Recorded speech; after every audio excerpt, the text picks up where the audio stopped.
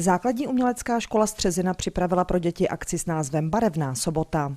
Výtvarný obor, který tyto soboty v pravidelných intervalech připravuje, tentokrát zvolil moto setkání Bude zima, bude mráz, kam se ptáčku, kam schováš.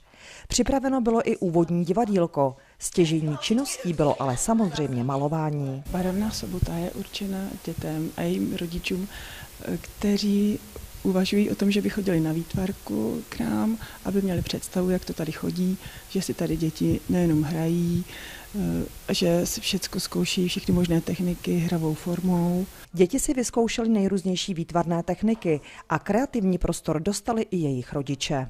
Vyzkouší si eh, kresbu, malbu, grafiku, modelování, tisknutí, zatočí si lisem, eh, prostě vyzkouší to, co doma ve školce na to nemají podmínky. Smyslem barevných sobot je přilákat děti nejen k výtvarnému oboru, ale také jim připravit sobotní dopoledne plné zážitků a ukázat těm nejmenším dětem, že se dá sobota aktivně strávit. Další barevná sobota se na Střezině uskuteční zhruba za měsíc.